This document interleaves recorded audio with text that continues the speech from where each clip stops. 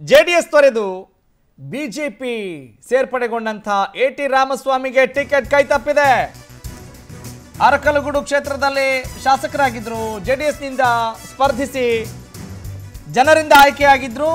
ಸಜ್ಜನ ರಾಜಕಾರಣಿ ಅಂತ ಹೆಸರು ಮಾಡಿದಂಥ ಎ ಟಿ ರಾಮಸ್ವಾಮಿ ಅರಕಲಗೂಡಿನಲ್ಲಿ ಯೋಗ ರಮೇಶ್ ಅವರಿಗೆ ಭಾರತೀಯ ಜನತಾ ಪಕ್ಷ ಟಿಕೆಟ್ ಘೋಷಣೆ ಮಾಡಿದೆ. ವೆರಿ ಇಂಟ್ರೆಸ್ಟಿಂಗ್ ಈಗಾಗಲೇ ಅನ್ಯ ಪಕ್ಷಗಳಿಂದ ಬೇರೆ ಪಕ್ಷವನ್ನ ಸೇರ್ಪಡೆಗೊಂಡಾಗ ಒಂದಷ್ಟು ಆಕಾಂಕ್ಷೆಗಳಿರುತ್ತವೆ, ಒಂದಿಷ್ಟು ಭರವಸೆಯನ್ನು ಕೂಡ ಪಡೆದಿರ್ತಾರೆ. ಅಶಾರೆನ್ಸ್ ಪಡೆದಿರ್ತಾರೆ. ಆದರೆ ಇಲ್ಲಿ ಅರಕಲಗೂಡಿನಿಂದ ಬಹಳ ನಿರೀಕ್ಷೆಯಲ್ಲಿದ್ದಂಥ ಎ ಟಿ ರಾಮಸ್ವಾಮಿಗೆ ಟಿಕೆಟ್ ಕೈತಪ್ಪಿದೆ ಆದರೆ ಪಕ್ಷ ಸೇರ್ಪಡೆ ಆಗುವಾಗ ಯಾವುದೇ ಡಿಮ್ಯಾಂಡ್ ಇಡದೆ ನಾನು ಪಕ್ಷ ಸೇರ್ಪಡೆ ಆಗಿದ್ದೀನಿ ಅನ್ನೋ ಮಾತುಗಳನ್ನು ಹೇಳಿದರು A T Ramaswamy. J D ಎಸ್ನಲ್ಲಿ ಒಂದಿಷ್ಟು ಗೊಂದಲಗಳಿಂದ ಅವರು ಕೂಡ ಬೇಸತ್ತಿದ್ರು. ಈಗ ಅಲ್ಲಿ ಯೋಗ ರಮೇಶ್ ಅವರಿಗೆ ಟಿಕೆಟ್ ಖಚಿತವಾಗಿದೆ ಭಾರತೀಯ ಜನತಾ ಪಕ್ಷದ ವತಿಯಿಂದ.